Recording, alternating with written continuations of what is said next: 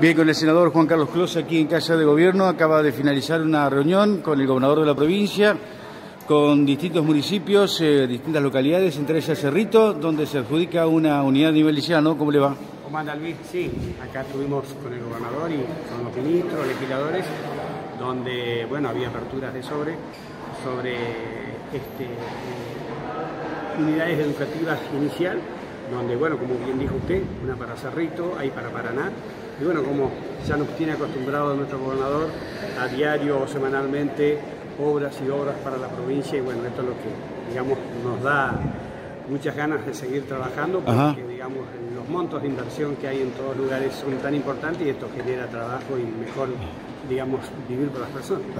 Bien, eh, senador Boro ha estado participando en distintos actos con entrega de, aportes en el Ministerio y en distintos eh, entes de aquí del gobierno. Sí, Ahora casualmente termino la nota con usted y bajo al Salón de los Periodistas, donde el Ministerio de Gobierno va a entregar aportes, dentro de eso está San Rafael, este, donde el Ministerio entrega aportes para, digamos, para cosas de las comunas y digamos, trabajando en eso, ayudando, aportando, este, acompañando las gestiones y bueno, contento porque bueno, un gobierno que está activo, que tiene una provincia ordenada y los fondos llegan tanto a juntas, a comunas como a municipios.